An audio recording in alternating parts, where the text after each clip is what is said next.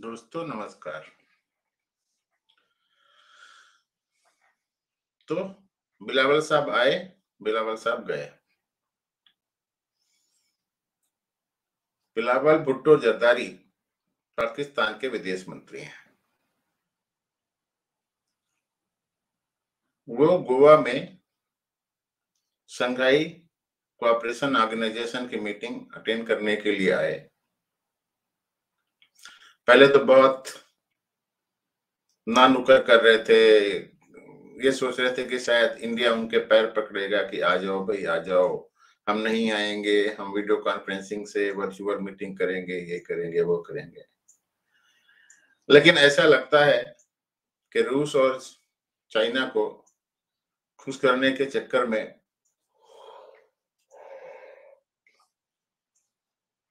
भाई साहब को आने के लिए मजबूर होना पड़ा। गोवा में आए, बहुत अच्छी तरीके से उन्होंने पाकिस्तानी लिबास पहन रखा था। मुझे याद है, तारिक पते हमेशा कहते थे कि पाकिस्तानियों को यूपी की ड्रेस पहनने का शौक है और पूरे पाकिस्तानियों को उन्होंने यूपी के ड्रेस पहना दी है। वही लंबा कुर्ता, पैजामा, ऊपर से एक अचकन टाइप कुछ पहन के रखा था। खैर, जिस तरीके से दूसरे विदेश मंत्रियों का जयशंकर साहब ने स्वागत किया और जिस तरीके से बिलावल साहब का स्वागत हुआ, जयशंकर साहब के द्वारा, वो आप लोगों ने देखा ही होगा। यहाँ तक तो ठीक है, लेकिन जयशंकर साहब ने मीटिंग खत्म होने के बाद जो प्रेस कॉन्फ्रेंस की है, और जिसमें उन्होंने स्पष्ट तौर पर कहा है कि जो देश टेरर की इंडस्ट्री चलाता हो, उस देश से हम बात नहीं करेंगे। ये इतफाक नहीं हो सकता कि जिस दिन बिलावल गोवा में हैं, उसी दिन रजौरी में आतंकवादियों ने हमारे पाँच छह जवानों को फिर से मार दिया। पाकिस्तान और पाकिस्तान के एस्टेब्लिशमेंट हमेशा यह कोशिश करता है कि जब भी हिंदुस्तान और पाकिस्तान के बीच में कोई महत्वपूर्ण घटना होने वाली है, उस समय ये लोग खुराफात कर देते हैं। बुलावल साहब खाली हाथ आए थे खाली हाथ चले गए। इससे पहले मेरे ख्याल में 2011 या 2012 में इन्हीं के पार्टी जब सरकार में थी उस समय जो आज इनकी उप विदेश मंत्री हैं, हिना रबाडी, वो भारत में आई थी। मतलब करीब 11-12 साल के बाद किसी विदेश मंत्री का ये भारत का दौरा है। 1947 से लेकर के अभी तक पाकिस्तान हमेशा कश्मीर के बारे में हर एक फोरम पे बोलता रहा। हमने नेहरू के ब्लंडर में एक बात बताई थी कि कश्मीर की प्रॉब्लम का सूत्रधार लॉर्ड माउंटबेटन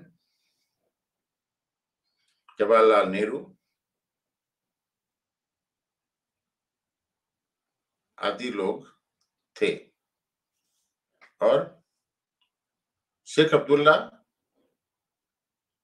उसमें बढ़ चढ़ कर रिस्पॉन्सिबल थे। जम्मू कश्मीर के चक्कर में पाकिस्तान ने भारत के साथ तीन या प्रैक्टिकल चार लड़ाई लड़ी।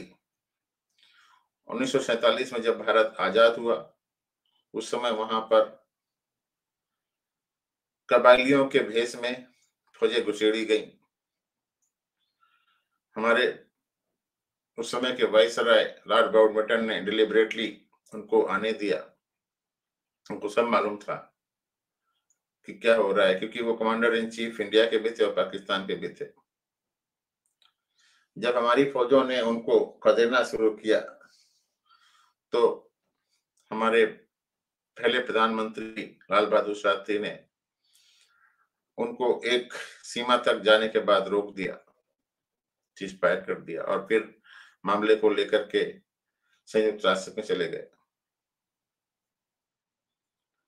शेख अब्दुल्ला जो कन्वर्टेड कश्मीरी पंडित थे और उनके कन्वर्जन से पहले कौल जात के ही थे, जैसे कि जवाहरलाल नेहरू कौल जात के थे। उनके बीच में अच्छी खासी दोस्ती अब्दुल्ला को जवाहरलाल नेहरू किसी भी हद तक होते थे कि ये जम्मू कश्मीर के मुख्यमंत्री या प्रधानमंत्री बने रहे और इसीलिए वो प्रॉब्लम उन्होंने क्रिएट की थी।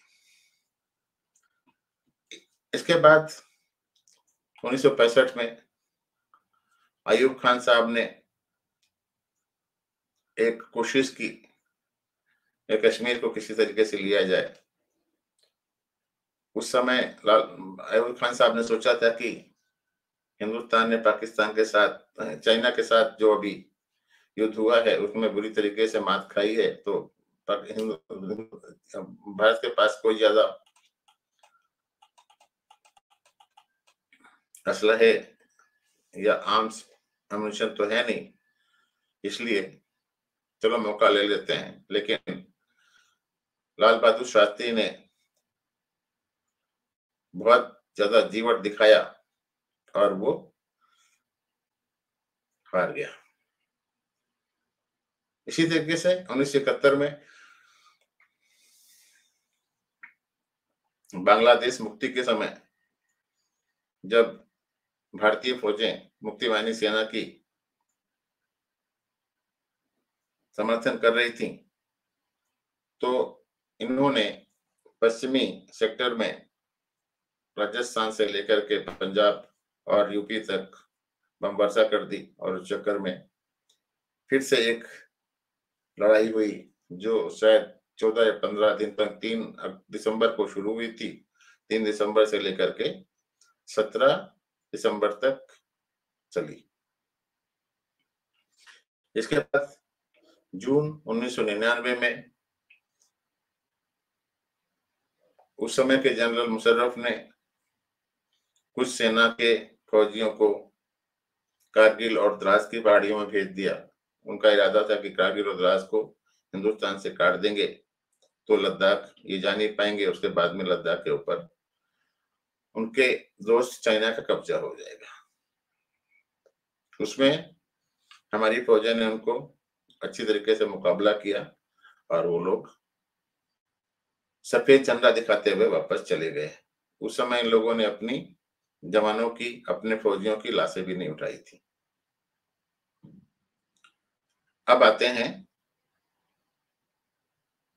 बिलावल भुट्टो के एससीओ मीटिंग में आने को लेकर के। जयशंकर ने कहा कि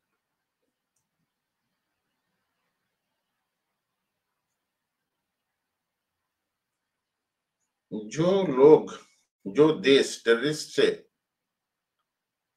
पीड़ित हैं टेररिज्म से पीड़ित हैं, वो टेररिज्म के सपोर्टर के साथ में नहीं बैठ सकते, उनसे बातचीत नहीं कर सकते।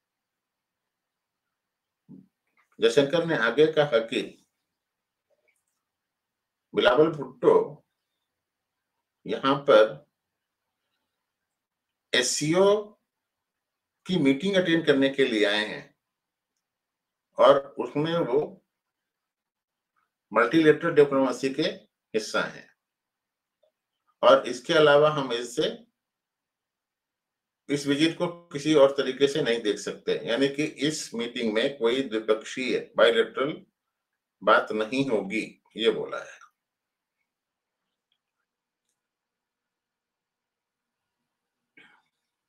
जयशंकर ने एक अजीब सी बात कही। जयशंकर ने बोला कि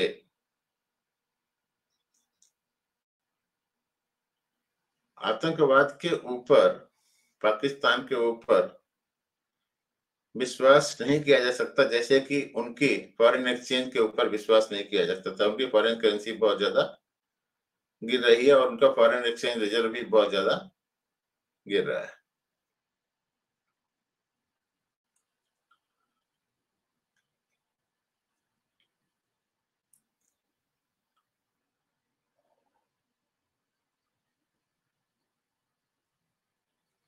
तो शंकर ने आगे बोला कि हम लोगों को मिलकर के आतंकवाद के खिलाफ लड़ना चाहिए। और अगर इस लड़ाई में कोई भी देश अपनी आँख बंद कर लेता है तो सबसे बड़ा नुकसान होगा। हमें किसी को भी, पॉलिटिशियन हो या कोई भी हो, उसको टेररिज्म की आड़ में छुपने की इजाज़त नहीं देनी चाहिए।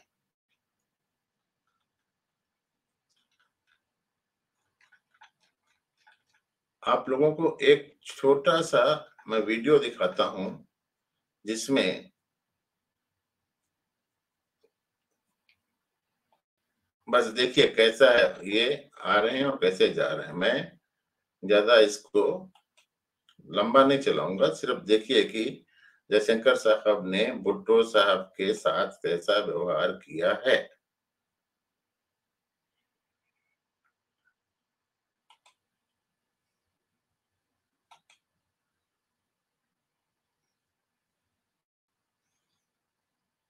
इन दोनों महानुभावों का आप चेहरा देखिए।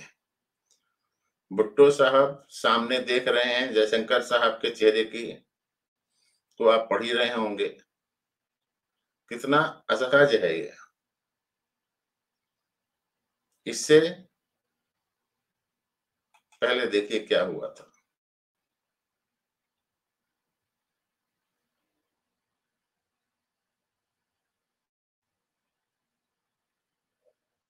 This digital age is unbelievable, but not everyone's living in it. Home internet shouldn't be a luxury. Everyone should have and now, more people can. FM uh, Qingang of China is concerned, uh, much of our attention, uh, I think predictably, uh, went to the disengagement issue uh, in the Western sector. Yeah, but uh, here again, the G20 and BRICS featured in the talks because China is a member of both groupings. As a foreign minister of an SCO member state, uh, Mr. Bhutto Zardari, was treated accordingly. As a promoter, justifier, uh, and I'm sorry to say, spokesperson of a terrorism industry, which is the mainstay of Pakistan, his positions were called out and they were countered. You know, victims of terrorism do not sit together with perpetrators of terrorism to discuss terrorism. Victims of terrorism defend themselves, counter uh, acts of terrorism, they call it out, they delegitimize it, and that is exactly what is happening. So to come here and preach these uh, hypocritical words uh, as though we are on the same boat. I mean, they are they are committing acts terrorism. Uh, Pakistan's uh, credibility is depleting even faster than its forex reserves. Maha Siddiqui joins us now from Goa, where she covered this SCO meet.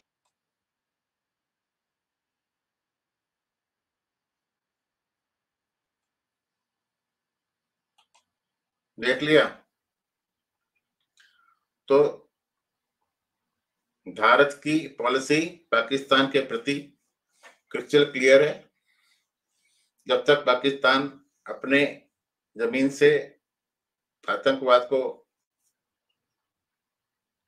फैलाता रहेगा, जब तक हमारे बेकसूर नागरिक और जवान मरते रहेंगे, तब तक